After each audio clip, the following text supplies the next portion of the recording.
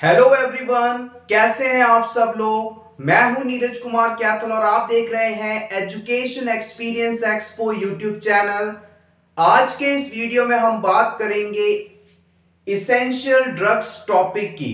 Essential drugs CHO exam community health officer exam 2020 के लिए बहुत इंपॉर्टेंट टॉपिक है। इस वीडियो को प्रिपेयर करने के लिए हमें रिक्वेस्ट किया था हमारे व्यूअर गिरिराज जी ने। गिरिराज जी, आपकी रिक्वेस्ट पर हम लेकर आए हैं आज का video so friends essential drugs की डेफिनेशन देखते हैं। इसेंशियल ड्रग को परिभाषित किया था वर्ल्ड हेल्थ ऑर्गेनाइजेशन ने। इन्होंने बताया था इसेंशियल मेडिसिन और essential drugs are those that satisfy the priority healthcare needs of the population. किसी भी राज्य या फिर किसी भी देश के अंदर जो जनता है पॉपुलेशन है, उन लोगों की जो प्रायोरिटी हेल्थ नीड्स हैं, उन्हें सेटिस्फाई करने के लिए आवश्यक दवाइयाँ इसेंशियल ड्रग्स या इसेंशियल मेडिसिन कहलाती है। इसे हम एक एग्ज़ाम्पल से समझते हैं मान लीजिए किसी देश के अंदर कॉलेरा बहुत ज़्यादा पाया जाता है या मलेरिया बहुत ज़्यादा पाया जाता है। लोग मलेरिया के कारण बहुत ज़्यादा संक्रमित होते हैं, बीमार होते हैं, परेशान होते हैं, उनकी डेथ तक हो जाती है। तो उस कंट्री के अंदर मलेरिया को ट्रीट करने वाली सभी दवाएँ इसेंशियल ड्रग्स के अंतर्गत रखी जा सकती हैं और इन ड्रग्स को सेटिस्फा सेलेक्ट करने का क्या क्राइटेरिया है, इसके बारे में भी हम आगे जानेंगे। सेकंड पॉइंट पे डिस्कस करते हैं how to select essential drugs सरकार या डब्ल्यू कोई भी संस्था इसेंशियल ड्रग्स को कैसे सेलेक्ट करती है कि ये ड्रग इसेंशियल कैटेगरी में आएगी या नहीं, इसके क्या क्या क्राइटेरियाज हैं, उन्हें हम यहाँ पर डिस्कस करेंगे। इस चीज़ को समझने से पहले एक छोटी सी बात को हम समझते हैं। आप लोगों ने घर में छोटी एज में या अभी भी फ़र्स्ट एड बॉक्स बनाया होगा किट बनाया होगा तो आपने उस फ़र्स्ट एड बॉक्स के अंदर क्या क्या चीज़ें रखी होंगी? आपने सबसे पहले ये देखा होगा कि फ़र्स्ट एड बॉक्स में क्या होना चाहिए, फिर ये देखा होगा कि हमारे परिवार में किस एज के लोग हैं, उन्हें क्या क्या डिज़ीज़ हो सकते हैं, क्या और उस चीज़ को ट्रीट करने के लिए सबसे बेस्ट चीज़ क्या है। इन सभी चीज़ों का ध्यान रखते हुए ही तो आपने फ़र्स्ट एड बॉक्स डिज़ाइन किया था और उसमें सभी चीज़ों को इंक्लूड किया था। तो नेशनल या इंटरनेशनल लेवल पर जब कोई संस्था इसेंशियल ड्रग लिस्ट तैयार करती है तो वो किन किन पॉइंट्स का ध्यान रखती है, आइए जानते हैं। ये सभी पॉइंट्स हैं डब्ल्यू के द्वारा बताए गए पॉइंट्स हैं, उनकी ऑफिशियल वेबसाइट पर आप चाहें तो इसे चेक कर सकते हैं। Essential medicine are selected with due to disease sorry essential medicine are selected with due regards to disease prevalence public health relevance evidence of clinical efficacy safety and comparative cost and cost effectiveness इसके अनुसार essential drug को select करने के लिए हम पाँच important criteria को discuss करते हैं। सभी को मैंने अंडरलाइन किया है। इस तरह से लिखे होने के कारण कंफ्यूज मत होइएगा। चाहे तो इसे आप वन बाय वन करके पॉइंट वाइज भी अरेंज कर सकते हैं। सबसे पहला पॉइंट है डिज़ीज़ प्रिवेलेंस देखो सिंपल सी बात है। प्रिवेलेंस का मतलब होता है प्रमुखता से।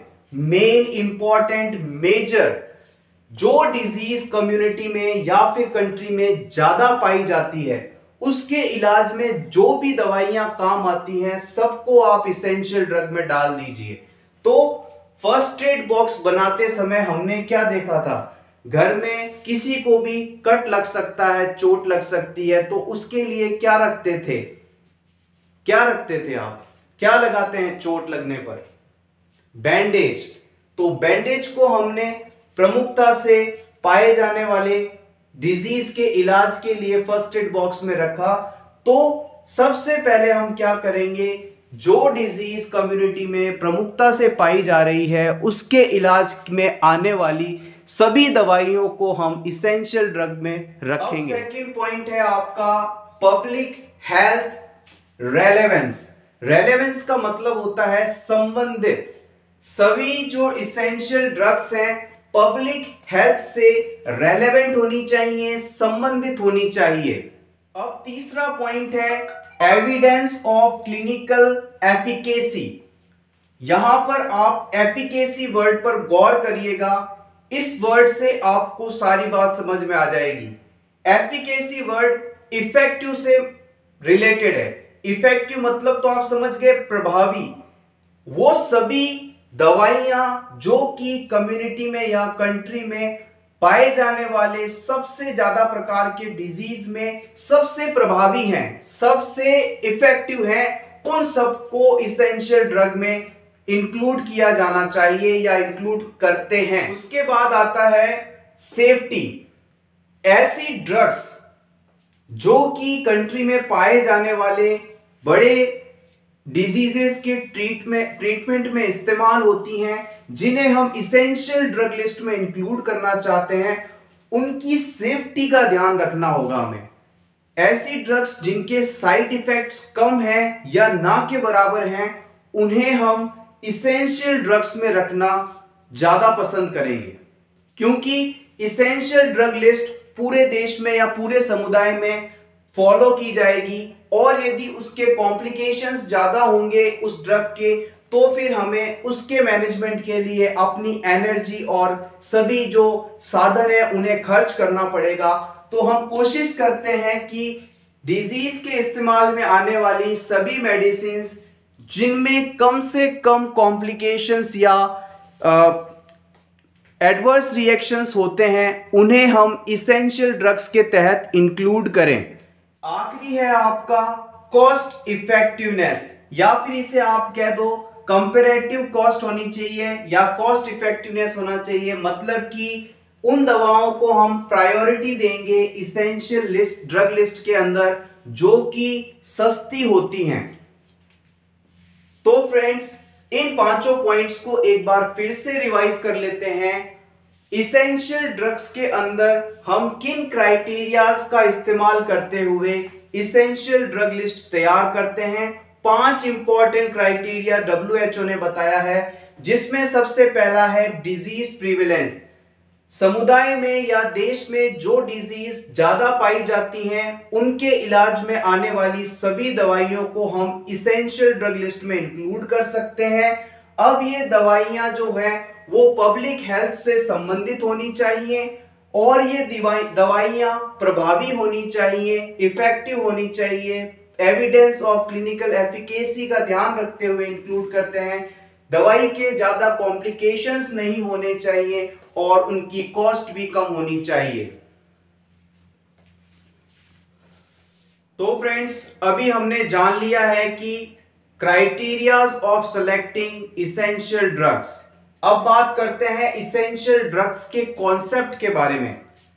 सबसे पहला कॉन्सेप्ट है ensure availability of all time हमें इसेंशियल ड्रग्स के अंदर ऐसी ड्रग्स को इंक्लूड करना चाहिए जो कि हमेशा हमारे पास अवेलेबल है। ऐसा ना हो कि आपने नेशनली अनाउंस कर दिया कि ये ड्रग इसेंशियल ड्रग कैटेगरी में आती है और छह महीने बाद वो आउट ऑफ़ स्टॉक हो जाए या देश में मिल ही नहीं पा रही है। तो हमें ऐसे ड्रग्स को इंक्लूड करना चाहिए जो कि हमारे पास सभी समय आवश्यकता के अनुसार अवेलेबल हो। दूसरा पॉइंट है ensure adequate amount and all doses ऐसी ड्रग्स को हम इसेंशियल ड्रग्स में इंक्लूड करेंगे जो कि प्रचुर मात्रा में उपलब्ध हो और सभी डो सभी डोजेज में अवेलेबल हो, सभी फॉर्म्स में अवेलेबल हो। मान लीजिए कोई ऐसी मेडिसिन है जो कि अडल्ट के लिए तो अवेलेबल है बट उसकी बच्चों के लिए जो डोज चाहिए वो अवेलेबल नहीं है। तो उस तरह की मेडिसिन को आप इसेंशियल ड्रग में नहीं ला सकते। थर्ड पॉइंट हम बात करते हैं क्वालिटी और कॉस्ट की। कम कॉस्ट में ज़्यादा अच्छी क्वालिटी जिस ड्रग की हो, उसे हम इसेंशियल ड्रग में इंक्लूड करना पसंद करेंगे। Able to provide complete information ऐसी ड्रग्स को हम उसके अंदर इंक्लूड करना प्रीफर करेंगे, जिसके ऊपर उसके बारे में सभी जानकारी उपलब्ध हो या उसमें सभी बातों को बताया गया हो। एग्ज़ाम्पल के लिए हम देख लेते हैं कि ड्रग का जो नेम है जेनरिक फॉर्म में मोस्टली अवेलेबल होना चाहिए। उस कितनी उसकी स्ट्रेंथ है, कितने पावर की है और उसका इंडिकेशंस क्या क्या है कब इस्तेमाल की जाती हैं उसके कोई कॉम्प्लिकेशंस हैं तो ये सभी चीज़ें उस पर मेंटेन होनी चाहिए। इसके जैसी और भी चीज़ें उस पर अवेलेबल होनी चाहिए। तो हम इन सब पॉइंट्स को कंसीडर करेंगे while making a drug list these all are the important points from the concept of drug list करते हैं इंपॉर्टेंट पॉइंट्स की। डब्ल्यू एच ओ के द्वारा पहली model list of essential drugs 1977 में लॉन्च की गई थी या डिक्लेयर की गई थी। और डब्ल्यू एच ओ हर दो साल में इस लिस्ट को अपडेट करता रहता है। India produced national drug list on 1996 it contains 279 medicine Bharat ने अपनी नेशनल ड्रग लिस्ट पहली ड्रग लिस्ट 1996 में प्रोड्यूस की थी और इसके अंदर 279 मेडिसिन थी। अब हम इस वीडियो के अंदर आपको ministry of health and family welfare की essential medicine list for sub centres and primary health centres को दिखाएँगे। आइए चलते हैं कंप्यूटर स्क्रीन पर। Friends year 2020 Ministry of Health and Family Welfare Essential Medicine List for Sub-Center and PSC level Ayushman Bharat Health and Wellness Center under National Health Mission updated as on March 2020 सबसे latest इस list के अंदर sub centre level पर जो medicine हैं उसके बारे में हम बात करेंगे क्योंकि सी एच ओ एग्ज़ाम के रिगार्डिंग हमें सब सेंटर पर ही फोकस करना है। सबसे पहले है मेडिसिन का नाम, फिर है रिमार्क्स और फिर है सावधानी कॉशन यदि कोई उससे जुड़ा है तो। यहाँ पर सबसे पहले इन्होंने बताया है एनेस्थेटिक एजेंट्स के बारे में, जिसके अंदर ऑक्सीजन गैस फॉर इन्हेलेशन और lignocaine topical form five percent को इंक्लूड किया है। सेकेंड कैटेगरी में है analgesics, antipyretics non steroidal anti inflammatory medicine medicine use to treat gout and diseases modifying agents use in rheumatoid disorders gout disease को treat करने के लिए N S A I Ds use की जाती हैं। Pen को मैनेज करने के लिए एनाल्जेसिक्स यूज़ की जाती हैं। फीवर को रिड्यूस करने के लिए एंटीपायरेटिक ड्रग्स का इस्तेमाल किया जाता है। इन सभी कंडीशंस के अंदर जो इस लिस्ट के अंदर मेडिसिन इंक्लूड की गई हैं, वो हैं एस्प्रिन जिसे हम एसिटाइल सेलिसाइलिक एसिड के नाम से भी जानते हैं। 75 फाइव की टैबलेट है। डाइक्लोफिनेक टैबलेट 50 एम और diclofenac injection 25 five per ML इसमें इंक्लूड किया गया है। डाइक्लोफिनेक आप सभी जानते हैं कि दर्द के लिए इस्तेमाल किया जाता है। आईब्यूब्रूफेन आईबीप्रोफेन जो टैबलेट हैं 200 हंड्रेड इसमें इंक्लूड किया गया है। Paracetamol tablet 250 fifty paracetamol syrup 125 twenty per 5 M और पैरासीटामोल सिरप 250 फिफ्टी पर 5 एम इंक्लूड किया गया है।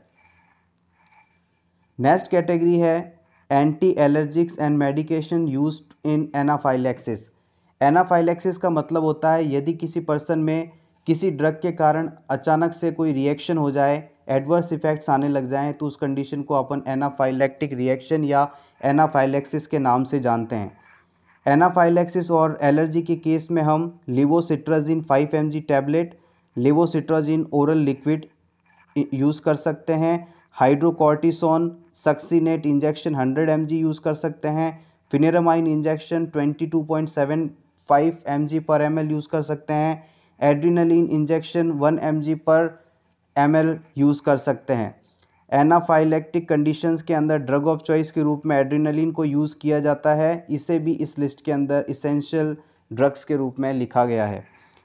Antidotes and other substance used in poisoning poisoning के केस में हम पॉइजन के इफ़ेक्ट को कम करने के लिए जो ड्रग्स यूज़ करते हैं, उसे हम एंटीडॉट्स के नाम से जानते हैं। यहाँ पर एट्रोपिन और एक्टिवेटेड चारकोल इन दोनों को इंक्लूड किया गया है। नेक्स्ट है एंटी कन्वल्सेंट और एंटी एपिलेप्टिक्स सीजर्स या दौरे जब पड़ते हैं पेशेंट को कन्वर्जेंस आते हैं तो उस कंडीशन के अंदर उसे ट्रीट करने के लिए यहाँ पर जो मेडिसिन ली गई हैं, उसमें है पहला magnesium sulphate injection magnesium sulphate injection आपने पढ़ा ही होगा जो प्रेगनेंसी के दौरान मदर को फिट्स आते हैं उस कंडीशन में, उस कंडीशन को ट्रीट करने के लिए इस्तेमाल की जाती है। उसके अलावा नेक्स्ट में diazepam tablets five M G diazepam tablet ten M G और डाइज़ापाम रेक्टल सपोसिट्रीज इसमें इंक्लूडेड हैं।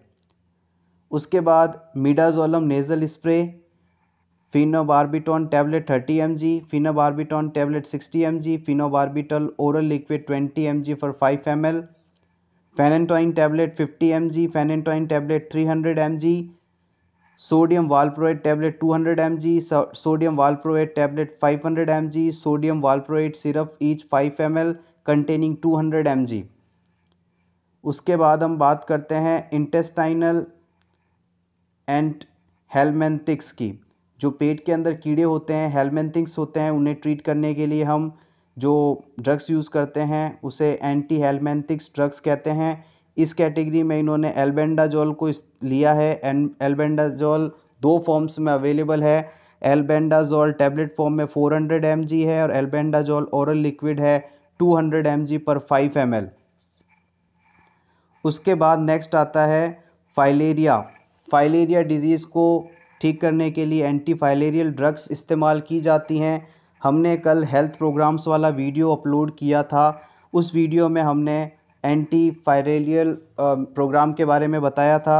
आप लोग उस वीडियो को ज़रूर देखिएगा। हेल्थ प्रोग्राम से रिलेटेड क्वेश्चन इस सी एच ओ एग्ज़ाम में ज़रूर पूछे जाएँगे। काफ़ी इंपॉर्टेंट टॉपिक है। फाइलेरिया डिज़ीज़ कंडीशन जो है वुचरेरिया बैंक्रॉफ्टी के कारण डेवलप होती है। इसे आप हिंदी में फील पाँव या हाथी पाँव रोग के नाम से भी जानते हैं। इसे ट्रीट करने के लिए di ethyl carbamazepine tablet hundred M और di ethyl carba carbamazepine oral liquid one twenty M per five M include किया गया है। अब बात करते हैं एंटीबैक्टीरियल्स या एंटीबायोटिक्स की। एंटीबायोटिक्स ऐसी ड्रग्स हैं जो कि बैक्टीरिया की ग्रोथ को रोकती हैं या फिर बैक्टीरिया को किल कर देती हैं। मोस्टली इन्फेक्शंस में हम इसे बहुत ज़्यादा इस्तेमाल करते हैं। एंटीबायोटिक्स के अंदर सबसे पहले इन्होंने एमोक्सलिन ड्रग को लिया है। ये कैप्सूल है 250 सौ और 500 सौ का लिक्विड फॉर्म में है। 250 सौ पर 5 एम और डिस्पर्सेबल टैबलेट्स हैं 250 फिफ्टी की। उसके बाद नेक्स्ट है जेंटामाइसिन इंजेक्शन 10 एम का और gentamicin injection 80 M per M का। मोस्टली जो यूज़ किया जाता है gentamicin injection 80 M per M का इस्तेमाल किया जाता है। उसके बाद है नेक्स्ट टैबलेट फॉर्म में कोट्राइमाजोल। कोट्राइमाजोल इसके अंदर दो साल्ट्स इंक्लूडेड होते हैं sulfa sulfamethoxazole 80 M plus trimethoprim 400 hundred इन दोनों के कॉम्बिनेशन को हम कोट्राइमाजोल के नाम से जानते हैं। ये भी एंटीबैक्टीरियल के रूप में इस्तेमाल की जाती हैं। उसके बाद हम बात करते हैं सल्फे मैथोक्साजोल सॉरी उसके बाद हम बात करते हैं को ट्राईमोक्साजोल ओरल लिक्विड की। आ, इसके अंदर भी sulphamethoxazole 200 hundred plus trimethoprim 40 M included है। उसके बाद doxycycline capsule 100 M metronidazole tablets 200 hundred और मेट्रोनिडाजोल टैबलेट्स 400 हंड्रेड इंक्लूडेड हैं। फिर है नॉरफ्लॉक्सेसिन टैबलेट ओरल लिक्विड आपको मैं बता दूँ, डायरिया कंडीशन में मेट्रोनिडाजोल और नॉरफ्लॉक्सेसिन काफ़ी इस्तेमाल की जाती हैं। नेक्स्ट है एंटी लेप्रोसी मेडिसिन। कुष्ठ रोग के अगेंस्ट में जो मेडिसिन दी जाती हैं, उसे एंटी लेप्रोसी मेडिसिन कहते हैं। इसके अंदर इन्होंने as per programme guidelines adult and paediatrics इसमें स्पेसिफिक ड्रग के बारे में नहीं बताया है। इन्होंने बताया है कि प्रोग्राम के अकॉर्डिंग जो भी गाइडलाइंस हैं अडल्ट और अडल्ट और पीडियाट्रिक्स में उसके हिसाब से इसमें दी जाती हैं। फिर है anti tuberculosis medicine TB disease की भी मेडिसिन को इसमें इन्होंने शो नहीं किया है, लेकिन टीबी के बारे में आपको मैं बता देता हूँ।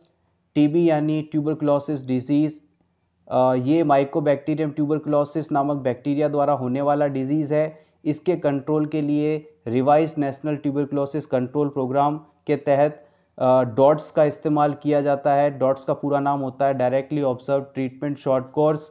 इसके तहत हम मल्टी ड्रग थेरेपी का इस्तेमाल करते हुए पेशेंट का ट्रीटमेंट करते हैं। नेक्स्ट है एंटी फंगल मेडिसिन फंगस के द्वारा होने वाले डिज़ीज़ को ट्रीट करने के लिए जो दवाएँ इस्तेमाल की जाती हैं, उन्हें एंटी फंगल मेडिसिन कहते हैं। इसके अंदर clotrimazole ointment, clotrimazole cream, clotri clotrimazole vaginal tablets, clotrimazole drops और clotrimazole oral solutions mostly use किया जा रहा है। उसके बाद नेक्स्ट है मिकोनाजोल ऑइंटमेंट फिर है फ्लूकोनाजोल 150 फिफ्टी टैबलेट्स। यहाँ पर आप गौर करिएगा, जितनी भी ड्रग्स इन्होंने लिखी हैं, उन सब के पीछे जोल वर्ड आ रहा है, ठीक है? तो ये इसी की पहचान है कि जो भी एंटी फंगल मेडिसिन हैं, उनको आइडेंटिफाई करने के लिए आप याद रख सकते हैं कि उनके पीछे A Z O L E azole word use किया जाएगा। उसके बाद बात करते हैं एंटी मलेरियल मेडिसिन की। एंटी मलेरियल मेडिसिन मलेरिया को ट्रीट करने में हेल्पफुल होती हैं। मलेरिया डिज़ीज़ लीवर को प्रभावित करता है। ये प्लाज्मोडियम के द्वारा होने वाली डिज़ीज़ कंडीशन है। इसमें भी उन्होंने बताया है कि as per programme guidelines adult and paediatrics जैसा कि इसमें बताया गया है कि जैसा सरकार के जो नेशनल मलेरिया कंट्रोल प्रोग्राम या इरेडिकेशन प्रोग्राम के तहत जो मेडिसिन होती हैं, उसी को हम यहाँ पर अप्लाई करेंगे। स्पेसिफिक मेडिसिन नहीं दी गई हैं। उसके बाद में नेक्स्ट है पैलिएटिव केयर को पैलिएटिव केयर में जो मेडिसिन इस्तेमाल कर सकते हैं, उसमें है lactulose oral liquid ten gram per fifteen M और povidone iodine lotion and ointment palliative care mainly pain relief के लिए की जाती है। उसके बाद हम बात अब हम बात करते हैं एंटी एनेमिक मेडिसिन की। इसके अंदर एनीमिया को ट्रीटमेंट ट्रीट करने के लिए मेडिसिन जो इस्तेमाल आती हैं उनको इंक्लूड किया जाता है। एनीमिया का मतलब है ब्लड में हीमोग्लोबिन की कमी और जिसके कारण पेशेंट को ऑक्सीजन प्रॉपर पहुँच नहीं पाती। इसके ट्रीटमेंट के लिए ferrous salt 100 M plus folic acid 500 hundred microgram tablets दी जाती हैं। यहाँ पर वापस से फेरस साल्ट और फॉलिक एसिड का कॉम्बिनेशन है। थर्टी फाइव नंबर पर वापस फेरस साल्ट और फॉलिक एसिड का कॉम्बिनेशन है, इसे हम डिस्कस नहीं करेंगे। आगे बढ़ते हैं। एनीमिया के ट्रीटमेंट के लिए खाली फॉलिक एसिड भी दिया जा सकता है। फॉलिक एसिड प्रेगनेंसी के दौरान भी महिलाओं को दिया जाता है, जिसके कारण बच्चे में न्यूरल ट्यूब डिफेक्ट नहीं होते और साथ साथ एनीमिया से भी बचा जाता है। फिर उसके बाद में न्यू बॉर्न बेबीज़ के अंदर विटामिन के के इंजेक्शन्स लगाए जाते हैं वन एमजी पर एमएल के हिसाब से इस फॉर्म में, ताकि बेबी में हेमरेजिक डिसऑर्डर्स ना हो ब्लीडिंग ना हो उसे रोकने के लिए। फिर हम बात करते हैं नेक्स्ट आता है कार्डियोवैस्कुलर मेडिसिन उसके अंदर एंजाइना डिज़ीज़ कंडीशन को कॉज सॉरी प्रिवेंट करने के लिए आइसोसोरबाइट फाइव मोनोनाइट्रेट टैबलेट दी जाती हैं, जो कि फाइव एम फॉर्म में अवेलेबल हैं। एटिनोलॉल टैबलेट्स फिफ्टी एम में अवेलेबल हैं। मेटोप्रोलोल टैबलेट्स 25 एम में अवेलेबल हैं। Metoprolol S R tablet 25 M में हैं। उसके बाद में isosorbide dinitrate tablet five M में सब लिंगवल फॉर्म में भी अवेलेबल हैं। उसके बाद एंटी हाइपरटेंसिव मेडिसिन यानी बीपी को कम करने की दवाइयाँ हैं, जिसमें एम्लोडिपिन है एनालप्रिल हैं, उसके बाद टेलमिसार्टन है hydro hydrochlorothiazide sorry hydrochlorothiazide ये डायूरेटिक है टैबलेट फॉर्म में दिया गया है इसे। उसके बाद नेक्स्ट है हाइपोलिपिडमिक मेडिसिन लिपिड्स को बॉडी में कम करने के लिए या फिर लीवर के अच्छे फ़ंक्शन हेतु बॉडी में लिपिड्स के लेवल को मेंटेन करना ज़रूरी होता है। इसके लिए हम एथोरवेस्टेटिन टैबलेट का इस्तेमाल करते हैं और उसके बाद बात करते हैं डिमेंशिया के लिए। मेडिसिन इसमें एल्प्राजोलम टैबलेट है जो कि zero point five, zero point two five और ज़ीरो पॉइंट फाइव एम में अवेलेबल है। उसके बाद डर्मेटोलॉजी में आ गए हम। डर्मेटोलॉजी का मतलब है स्किन से रिलेटेड जितनी भी प्रॉब्लम्स होती हैं, उसके संबंधित जैसे सिल्वर सल्फेडाइजिन क्रीम है, ये आप बर्न में भी इस्तेमाल करते हैं। बिटामेथासोन क्रीम है कैलेमाइन लोशन है बेंजाइल बेंजोएट ऑइनमेंट है म्यूपिरोसिन है, ये एंटीबैक्टीरियल क्रीम के रूप में आती है। Potassium permanga sorry potassium permanganate है ज़ीरो पॉइंट वन परसेंट या आपने हॉस्पिटल्स में देखा होगा, जब कोई इंजर्ड पेशेंट आता है तो उसकी स्किन को क्लियर करने के लिए इस्तेमाल किया जाता है। जैसे ही सॉल्यूशन को हम स्किन के ऊपर डालते हैं, वहाँ पर बबलिंग होती है और उसमें से सारा जो भी वेस्ट होता है, वो बाहर आ जाता है। उसके बाद zinc oxide cream ten percent है। उसके बाद नेक्स्ट है डिसइनफेक्टेंट्स एंड एंटीसेप्टिक्स डिसइनफेक्टेंट्स और एंटीसेप्टिक्स में आपके इथाइल एल्कोहल है उसके बाद हाइड्रोजन परऑक्साइड है मिथाइल सेलेनियम क्लोराइड है bleaching powder containing not less than thirty percent ये भी है गामा बेंजोइट हेक्साक्लोराइड है फार्मेसाइल सल्फेट है, उसके बाद में ईयर नोज़ थ्रोट मेडिसिन नाक, कान और गले से संबंधित। इसमें सबसे पहले सिप्रोफ्लॉक्सिसिन है, ये एंटीबायोटिक्स भी जनरली हम देते हैं पेशेंट को मोस्टली ईयर नोज़ थ्रोट की प्रॉब्लम होती है जिन्हें बोरो स्पिरिट ईयर ड्रॉप है, ईयर वैक्स सॉल्वेंट ड्रॉप्स हैं। नेक्स्ट है, गैस्ट्रो इंटेस्टाइनल मेडिसिन जीआईटी से संबंधित मेडिसिन हैं। इसके अंदर सबसे पहले है, रेनेटिडिन टैबलेट है, ओमेप्राजोल है ओंडेन सेट्रॉन है, और इसबगोल है, और ओ आर एस है। रेनिटिडिन, ओमेप्राजोल, ये दोनों हमारे जो एसिडिक लेवल है, उसको मेंटेन करती हैं। Ondansetron tablet mostly nausea और वॉमिटिंग को कंट्रोल करने के लिए इस्तेमाल की जाती है। इस सब गोल ग्रेन्यूल्स, हस्क पाउडर जो है हम मोस्टली डायरिया वाले पेशेंट को देते हैं। ओरल रिहाइड्रेशन भी आप डायरिया कंडीशन में या डिहाइड्रेशन कंडीशन होने पर देते हैं।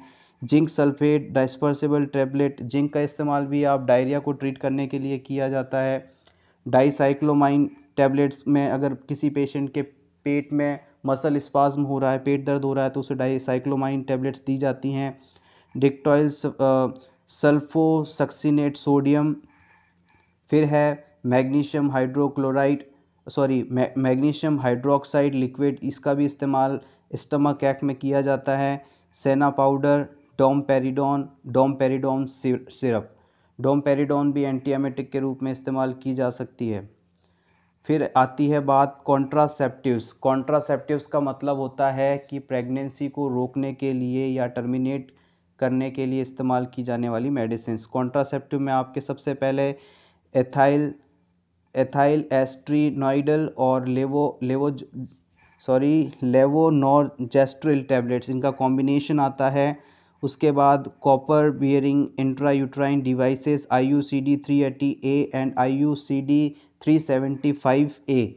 इसमें जो I U C D three eighty A है, इसके इस्तेमाल करके हम दस साल तक प्रेगनेंसी को रोक सकते हैं।